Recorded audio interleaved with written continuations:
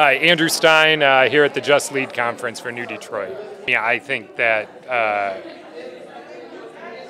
I wouldn't say racial equity was an explicit political issue, you know, 10, 15 years ago or so, the way it is now. And I think that that is uh, very much in large part to young people elevating the issue, and the expectations of our elected officials are rightfully so that this should be an issue to work on.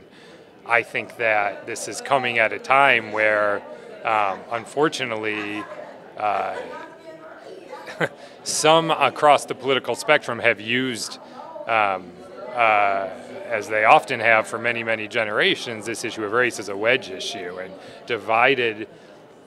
In many ways, we're, we're, we're so divided on it, but I think we also share the same values of equality and wanting, you know, to provide opportunity for people. So um, I, I, think that young people have a big role to play in continuing to make this an agenda item. I'm hopeful that our politicians respond to that and listen and, and act on it.